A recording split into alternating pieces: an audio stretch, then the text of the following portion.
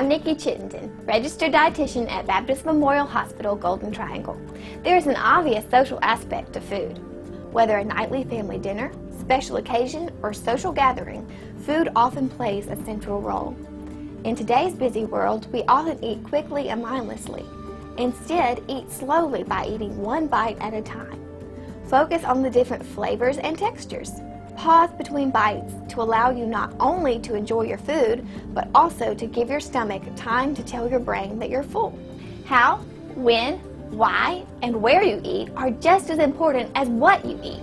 Being a mindful eater can help you reset both your mind and body and lead to a more helpful lifestyle. A lot of people eat on the run, at a desk, or in front of the television.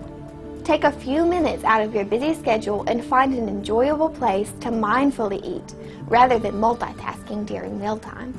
Everyone has individual health and nutrient needs. A registered dietitian nutritionist can educate you and guide your food choices while keeping your tastes and preferences in mind.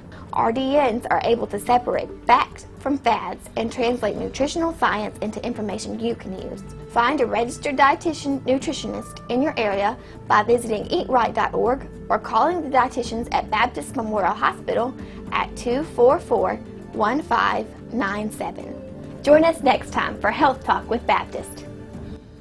Mail your topic suggestions to healthtalk at wcbi.com. Health Talk has been brought to you by Baptist Memorial Hospital Golden Triangle.